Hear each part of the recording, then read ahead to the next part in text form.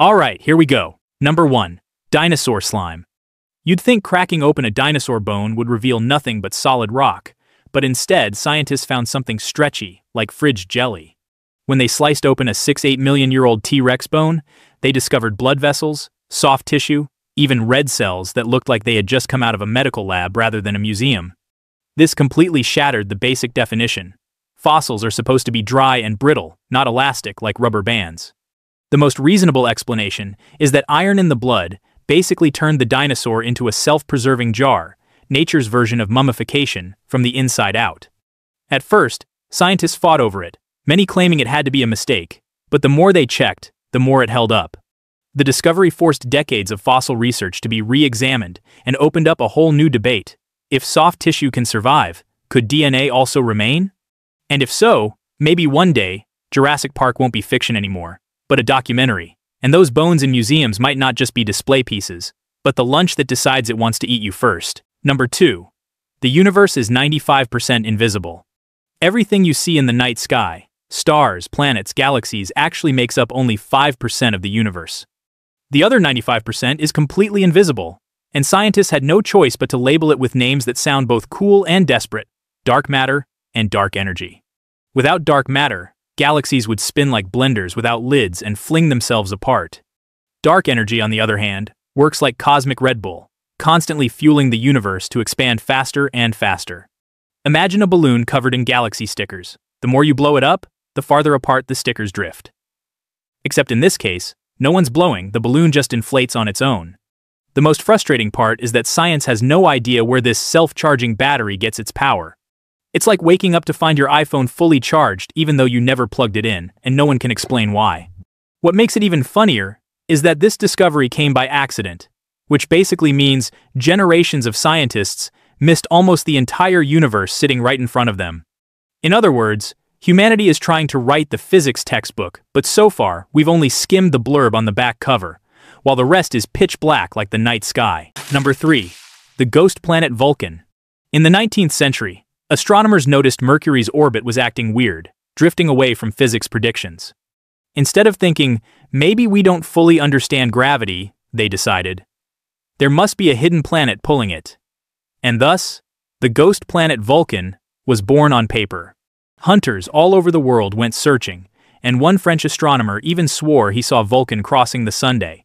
He got awarded a prestigious medal, though he had probably just stared at a sunspot. For 50 years, reports piled up claiming, I saw it too, turning into a half-century game of I spy with no proof. Then Einstein showed up with general relativity and dropped the mic. There was no planet. Space around the sun was simply warped, like a giant mattress, nudging Mercury off course.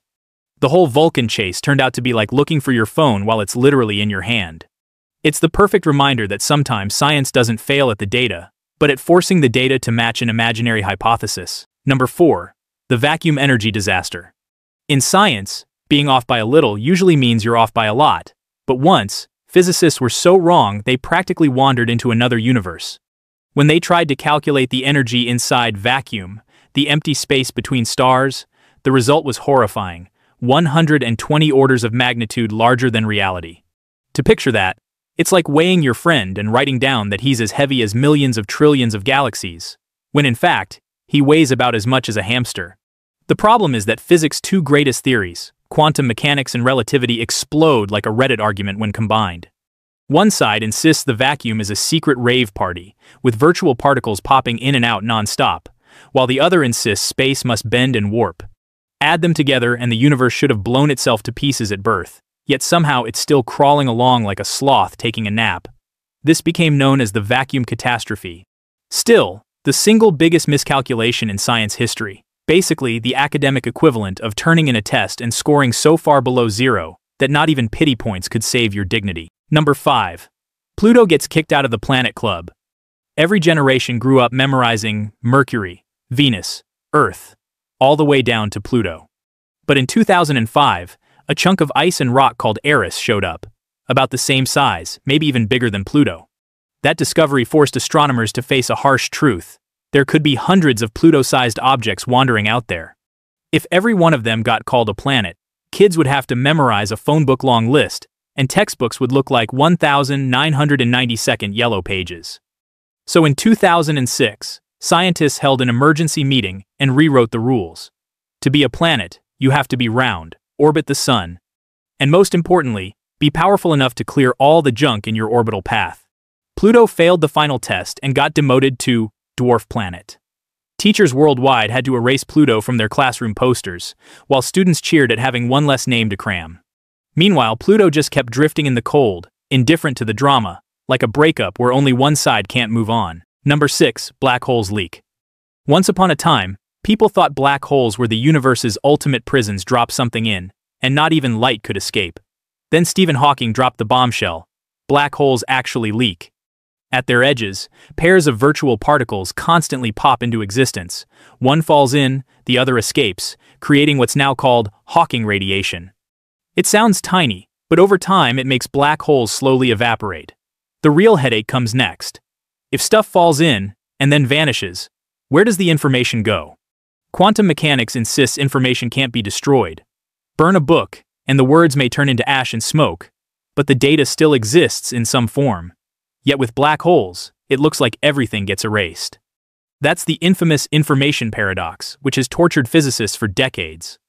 It's basically like sending a package to Amazon's warehouse, getting the delivered notification, and then finding out their entire system has no memory the package ever existed. If black holes really do wipe out all information, it means either gravity is wrong, or quantum mechanics is wrong, or worst of all, both are wrong. Number 7. The speed of light limit.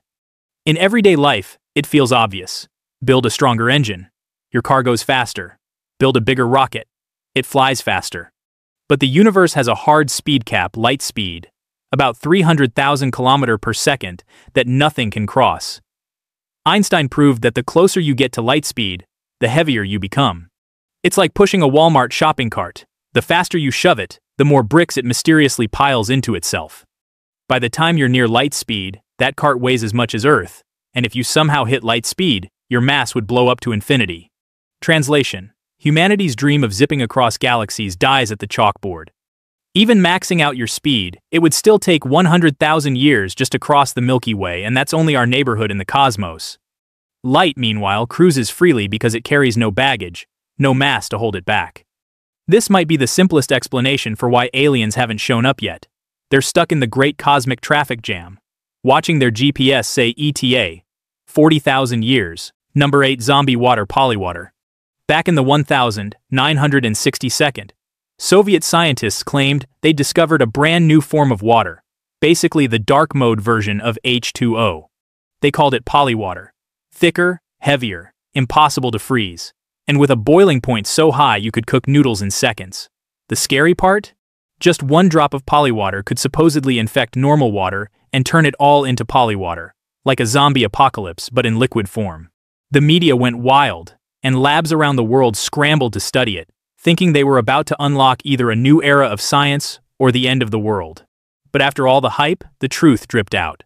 Polywater was nothing more than regular water contaminated with sweat and soap from dirty lab equipment. The entire scientific community had basically been duped by bad dishwashing.